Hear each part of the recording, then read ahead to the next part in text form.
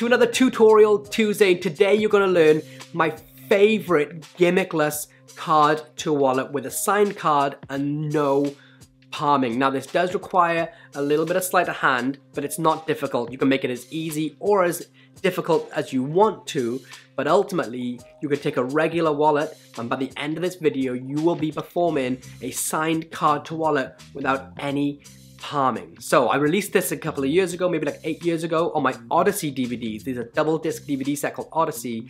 And ever since then, if I'm ever in a situation where I need to perform a signed card to wallet and I don't have a special magician's wallet on me, this is my go-to all the time and I'm excited to share it because I, I put it on Odyssey and I haven't put it online at all ever since. So I'm going to share with you all my latest handlings, my latest tips and tricks and I'm going to show you exactly how it looks by performing it directly to the camera with you guys burning my hands from start to finish. So get ready, grab yourself a deck of cards, grab yourself a Sharpie, grab yourself a wallet and you're going to be able to learn how to do a signed card to wallet anytime, anywhere by the end of this video. Just before we dive into it, let me tell you some really exciting news. Uh, for all of you that follow me and listen to mine and Craig Petty's podcast called The Magic Podcast, it's pretty close to the bone. It's a little bit X-rated, but it's a no holds barred take on current events and what's happening in the magic industry. Uh, something pretty amazing happened over the last few days. One of the people on our Facebook group, uh, the Magic Podcast official discussion group called Rich Relish, who's a Welsh magician, suggested we should do something. And it was uh, uh, an idea which Craig seen and I seen, we were both like, that would be amazing. And then it was like, really, how are we going to make that happen? And then we got a call from somebody who organizes a certain thing that confirmed it within hours and said, we're doing it. And that special thing is we're doing a, a live episode of the Magic Podcast as, the, as an official part of the Blackpool Magic Convention lineup. I can barely get the words out, I'm so excited. So we're going to be on stage at Gillows Bar straight after the gala on Friday night, so that when the opening nights, me and Craig on stage doing a live episode of the podcast. Come along and watch it if you're at Blackpool. There'll be questions, answers, awards. We're going to do some crazy stuff. And you know, if you listen to it, that it's a no holds barred podcast we have to make some edits sometimes, like for legal reasons. We can't do that live, so it's going to be wild and you're going to have so much fun. And to be involved in any capacity in Blackpool is a huge honour. But but to do it with Craig, to do it in the way that I've always wanted to do it. If I was ever going to do Blackpool, I wouldn't want to do it like like other people do. To do something like this is so special. So massive thanks to Blackpool Magic Convention and Russ Stevens for making it happen because he called us within hours of seeing Rich Relish's post thank the Lord he made that suggestion because it would never have happened without him. And uh, I can't wait to see you all there. Come up, let's let's all hang out, let's jam together, and uh, show me what you guys have been working on. But yes, if you're going to Blackpool, then come to Gillows Bar after the gala show and get ready to have a lot of fun. All right, I'll stop talking. I know most of you just want to learn the card to wallet, so here it is, a signed card to wallet with a regular wallet and no palming.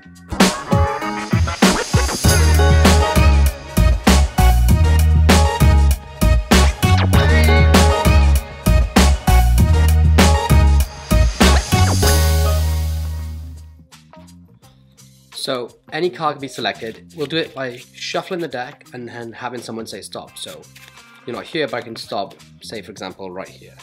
Whatever card they stop at is going to be signed. So in this case, we have a five of hearts. I'm going to take the pen for all the podcast listeners out there, I'm to write Gareth Witty. If you listen to the Magic Podcast with me and Craig, you'll get that reference. So their card is genuinely signed, and then you wait for it to, to dry, so give it a moment. And I want you to watch what happens next. You can see that, you can feel that it's a real signature. Watch that signature with just a wave completely vanishes. You can see it's genuinely not on top and it's not on bottom.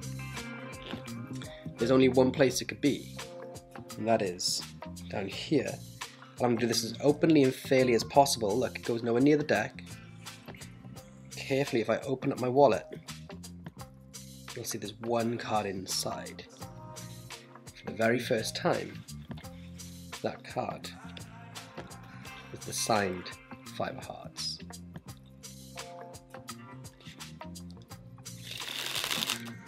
So you can perform this completely impromptu, but by using one thing which you'll all have at home, you can make your life so much easier when performing this. And that is just some double-sided stick tape. So all you're going to do is take any playing card, and you're just going to place a bit of double-sided stick tape on it. So in this case, I place some on the nine of spades right there, and then I'm going to stick it just sort of at a rough angle in my wallet. Now it's important that if your wallet opens like a book, you place it in the in the left hand side, okay? Because you want this bit. Do you want you want the front end be to, to, that's towards the audience to be empty, okay? So that gets placed in your wallet, and then that's gonna be placed anywhere. It could be placed off to the side or in your pocket, but it's gonna be placed in in that in a way that if you were to point this towards the audience, you close it like this, and then place it down into your pocket so that when you bring it back out, it's going to be in the correct position. Okay? So, if you don't want to use double stick tape, later on I'll explain what you need to do, but it's basically, you're essentially going to use your thumb to hold it as you pretend to flip, but I'll, I'll get into that right now. So, here comes the fun stuff. You can genuinely use a, uh, any deck of cards, and I'm gonna. I, I, like to have the card selection this way because I, I like to vanish in the following manner. But I shuffle the deck, and I have somebody call out stop. Now I have a signed card here, so we'll, use this one again, but and I'll place it where it would be. But you genuinely have them stop anywhere they want, and then you, when you do that, you're going to turn over a triple. So I get it. I do it by getting a pinky break and the three cards. So you see there's three cards there. You could you can also push over three cards and then get a pinky break. Uh, however you want to do it, it's fine, but I like to get a pinky break. So, a performance speed, shuffle, shuffle, shuffle. As you say, I'm going to ask you to sign it, is when you're going to get your pinky break under three cards and turn them all over. So in my case, when we, when we did the performance, the card was the five of hearts, which was a pretty good card because there's a lot of white space, right? So, and it was genuinely a random choice. So we're getting a pinky break, turn over, and I had the five of hearts. At this point, you have them sign it, so they can really sign it, and you're in this position with three cards on top. Now, when I have them sign it, I release the pinky break, and then I get another pinky break after they've signed it as the card blow it. Uh, you could blow another card to dry it. And now you're going to execute a sort of modified uh, window change. So the way I do this is, uh, is, is by taking the three cards and displaying it, and, and you can get a nice display as you like sort of blow it. It looks very fair, like a single card, right? I'm going to pick it up with my thumb and my middle finger at the opposing corners. But what I'm also going to do is using my ring finger of my right hand is I'm going to clip this top corner like that. Okay, so you can see I'm clipping it. So that looks like this. Now, angling my the back of my hand to obscure the view from the audience, I'm going to use my left thumb to put some pressure on this card as my right thumb releases. And I'm going to steal these base two, these bottom two cards away. And I'm going to hide behind my palm. So that looks like this. The exposed view, like actually I genuinely turn to the side when I do this for the audience. The exposed view looks like this. Really go, do that again. You get two cards, right? And this is why it's slightly modified from the original sort of uh, window and also from stealing it as well. So I'm going to steal these two cards away and they're going to hide in my palm. Now, I feel this feels quite casual and natural. It doesn't feel too awkward. There are some palms out there that can feel really weird. And what this essentially is, is kind of like a lateral palm, right? Basically a lateral palm. Instead of being like here for a lateral palm, it's going to be this angle. But you've got a lot of cover. It's quite surprising how much cover you get from this. So steal away, and it's not. I'm not just, just to know. I'm not peeling back with the thumb. My thumb is essentially just there on my left hand as a placeholder, just to give some friction to hold that card in place. Now we're going to make the card vanish with these two palmed cards. And to do that, it looks like this. So I'm here, and it looks like that card just vanishes like this, right? But what's happening is the two cards that are in palm, so from the exposed view, they rest along my three fingers here. One, two, three. They rest on these three fingers. If you look at it from the dead on front view, exposed, it looks like this.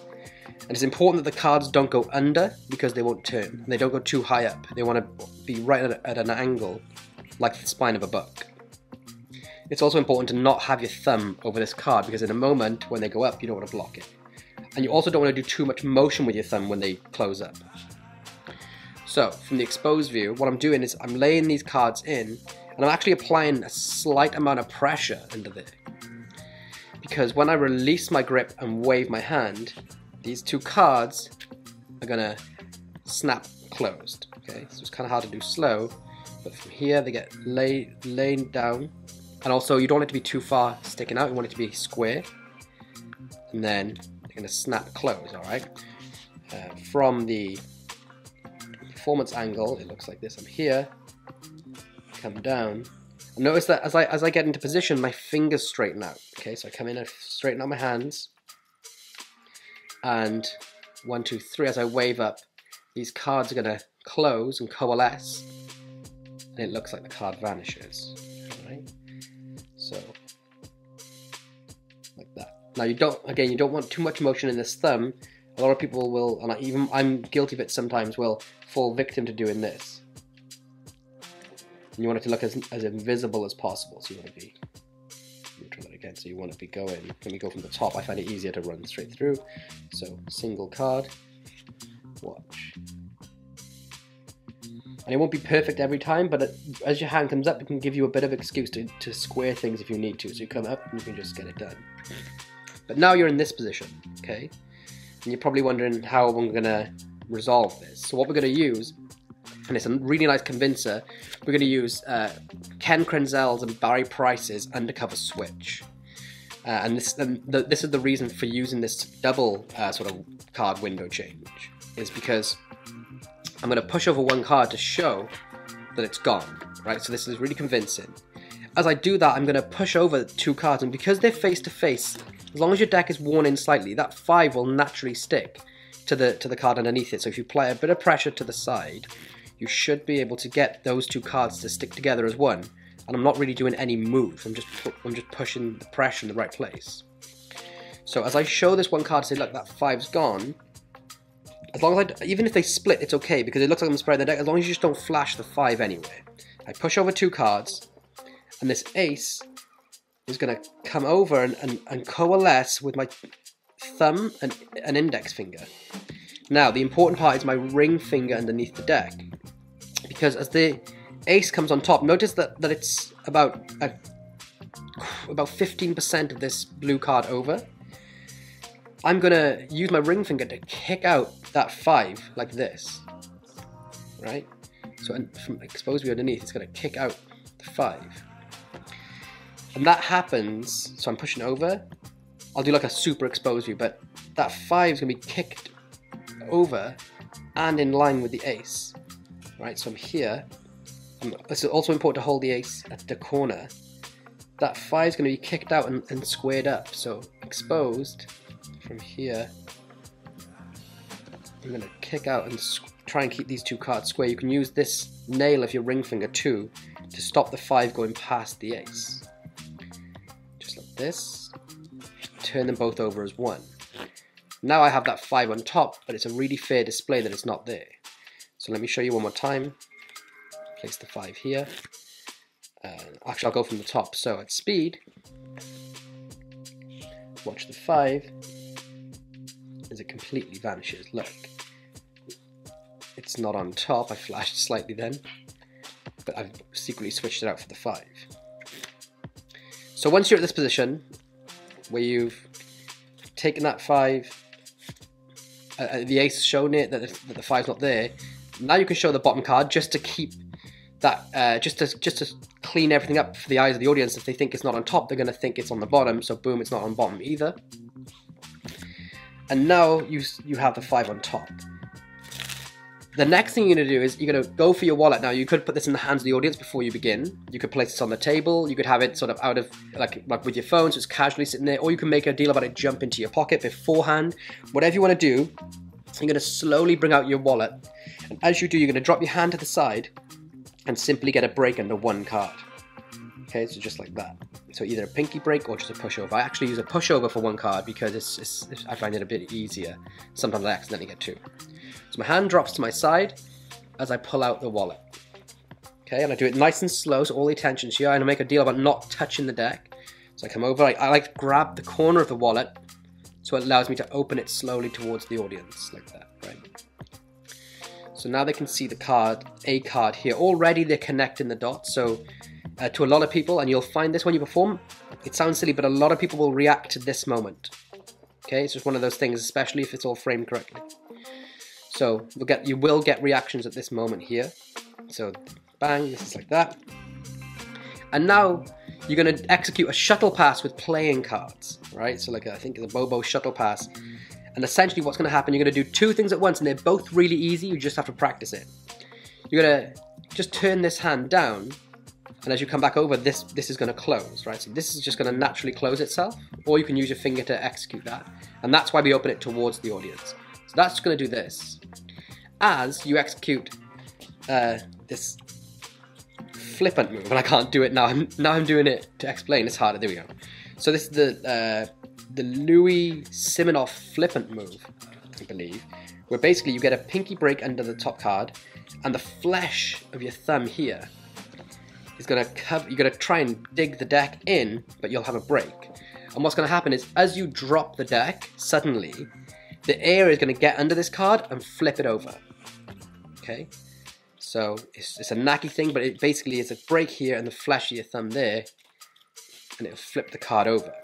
What you're gonna basically make it look like you're doing is this, like you're just flipping the card from the deck, from the wallet on top of the deck because your hands are full, right? That's like that, that's sort of like the excuse because you you have a deck of cards in your hand and a wallet.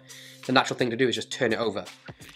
So cards displayed here. You will get reactions from some people at this point, right? It's guaranteed. And as you pretend to just turn it over, this hand's to flip this card. Now your timing is always essential, so you kind of want to time it for real, as in practice having a card in your wallet and sort of looking how it would look if you did it in real life. Now I know that's a bit slow for me, um, but they're not to know exactly how it should look because they won't have seen this before. But you want to just kind of get that timing to look believable. And the more angle the card lands, the better because you don't. It's better if it doesn't land square or on the floor. It's just more of a timing thing that it just turns over and you kind of if it lands on the floor great I feel it looks more convincing at times but you can do anything you want so at this point you've done the move it looks like it's just come out your wallet this is naturally closed and gone downwards and into your pocket there's no heat here and I've been performing this for a couple of years well it was actually released on my Odyssey DVDs originally uh, and I think that was I don't know, eight years ago. It's a double disc DVD set. And I performed it on and off since then, especially if I don't have a special uh, Magician's wallet on me that can load a card in. I'll just quickly set this up. Uh, and and there is no heat on the wallet. As far as they're concerned, the trick has come to a close naturally and it doesn't feel um, in any way suspicious. So you bring it out, boom, it's gone, the card's here. And as long as you nail that timing, casually chuck this away, and to them, the effect is done. It just happens to be the, the deck of cards is in your hand, and that's the that's the effect. Now, there's a few things you can do. You don't have to use the entire handling here. For example, uh, you can just turn over a double, have them sign a double, and make that card vanish, right? So then it's gone, and you just load that, just lose that X card into the deck. Now their card's on top. You could do things like a, an Erdnase vanish, which I never do very well, so I don't do it. but you could do like an Erdnase vanish, and then uh, say it's gone from the deck, and secretly turn that top card over somehow, right? So I did that, and I did it badly too. I did that by the similar thing to the to the window change. I'm grabbing the card at the corner and turn it over just as I like sort of square the deck. Uh, there's a million different things you can do to vanish the card, but but that's essentially uh, the, the, essential thing is that you just want that card to end up on top. You don't even have to vanish the card in such a way. So you can um, have their card, you can have them place it back into the deck face up, and you can say to them, I want you to remember the Queen of Hearts and the six of diamonds, we lose your card into the deck. Now you wait for a moment, snap your fingers, or make a magical gesture. Now I get a pinky break under the bottom two cards here because their card's going to be at the bottom because what I've done is steal this out. So as I spread through, they see the Queen of Hearts and the Six of Diamonds. There's no card between it. And as I get all the way to the bottom, let me get the pinky break again, I can get all the way here and show their cards gone. So the way that works is by ask uh, have them place it in and you can ask them to like tell you to stop somewhere so I, would spread through and say stop between two cards so let's say it's here so in this case the king of hearts and the queen of clubs and what I'm going to do is just cull that card out as I run through and cull it to the bottom of the deck. And you can even show a nice singular card here. Like I say, and you can draw attention to the fact that the last card's the 5 if you want to. Now, square the deck, get that pinky break, and uh, now as you run through, you look for that queen, King of Hearts and Queen of Clubs. The card's not between it. As you go all the way through, the cards apparently vanish from the deck. And now it's controlled to the top. So, uh, and also, also you can just genuinely pretend to lose it in the deck, so they think it's somewhere in there, and you can say it's not on top, and this is a double, uh, and it's not on bottom. So again, that one, whatever control you want to use, I use a Jerry Sadowitz slip control. That appears to go in the center. Uh, you show it's not on top, it's not on bottom, it's lost somewhere in the deck, or you do this, now it's vanished, boom, and you then you can go straight to the wallet, bring it out, open it up nice and slowly to show it's there. And then chuck it out, pretend to throw it from the wallet onto the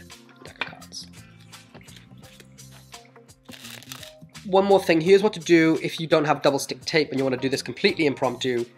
Remove the card, well you wouldn't have stick tape, it wouldn't be stuck there. Take any card, place it in the wallet in exactly the same position, load it into your pocket. Now, as before, go through, have a card selected, uh, in this case, eight of spades, can make it vanish however you want. Boom, that card's gone. It's not on top, not on bottom. Let's jump to my wallet, get my break again. I'm going to perform it identically as before. This time, however, though, I am going to open the wallet a bit slower because sometimes the air suction will cause that card to stick. So I open the wallet a bit slower and I can show this one card in my wallet. I'm going to do exactly the same thing as before, but this time I'm just going to pinch that card with my thumb so it can't fall out. So I'm just going to pinch that card with my thumb as I execute the move. Now, this is the tricky part. You need to keep the thumb on the card as it goes as the as the wallet closes, and then squeeze it so it doesn't fall out as you place it away because you will actually find sometimes that card will fall out if you don't do it close uh, do it carefully. So we'll use the five of diamonds this time. Tip it out of the out of the wallet. Now this card is trying to wiggle around so I just very casually close it up make sure it's neatly in there don't let it fall out and uh, and that's just the way to do it impromptu. And you can see why the double stick tape just helps just a little bit because it makes your hand uh, a lot more open and uh, doesn't seem as uh, as as if you're doing anything, you know. I hope you guys all enjoyed that. It's again been one of my favorite pieces of magic that I've been performing for years and years and years. I released it years ago. It's a bit of a hidden gem and I just wanted to be able, I love card to wallet, didn't always carry, I didn't always like magic wallets. So I didn't always carry them, but I wanted to do card to wallet because it's such a powerful effect. So there we have it. That this is one of the one of the ways I come up with. And if there's any interest, maybe in the future, I'll do a video showing some of the other impromptu ways that I perform card to wallet. But thank you all so much. Guys, if you haven't already, please hit that subscribe button and drop a comment in the video below because it really helps me grow my channel and keep making these videos for you. If you like that and you want to see more, then every Tuesday, every Thursday, and every Sunday, we do tutorial Tuesdays where I teach you guys brand new magic or I go over some of my original creations from, from when I released them originally. Uh, on Thursdays, it's the wife test where I perform live magic to my wife because we all know performing sometimes for strangers with a camera, they just freeze up and don't give a real reaction. When you perform to your favorite people like your wife, your best friend, your mum, your dad, they will often be your best and most honest critics. And when you do a good effect, because they've seen so much, they will give a genuine reaction because they're actually blown away. So the wife test is the ultimate litmus test for new magic. That's on Thursdays, and then Sunday is the live worldwide jam. It's called the Sunday session. We're here every Sunday. We try to make as many of them as we can be possible to make live. And it's basically because jamming with other magicians is the best thing ever. We just want to jam, talk methods, talk ideas. And this week we've got an incredibly good one. We've got Craig Petty and Ben Williams, all three of us live at the Sunday session, 5 p.m. UK time, which is like 9 a.m. California time. And the topic of discussion for the live jam, where we're not to like hide anything, we're talk about methods, presentations, ideas, everything. It's all about the torn and restored card. So hit that subscribe button and the notification bell so you can see when the new videos drop. Drop me a comment below. Let me know if you want to see more card to wallet stuff, if you want to see how I handle magician's card to wallets. Let me know uh, essentially what you think of this and if there's any feedback or anything else that you feel like you need to learn regarding the card to wallet because I could talk about this for like three weeks straight and not run out of breath. All right, guys, thank you so much for tuning in. I've been, I've loved filming this video more than anyone I've done to date so far because it's just an effect I just know forward, backwards, inside out, and I've been doing it for such a long time. I know, more importantly, that by teaching you guys this, those of you that go out and perform it, you'll have a, a, a, little hidden gem of magic that you can carry with you for the rest of your magic life. So thanks so much guys. I'll see you all in the next video, which is the weekly wife test coming to you on Thursday.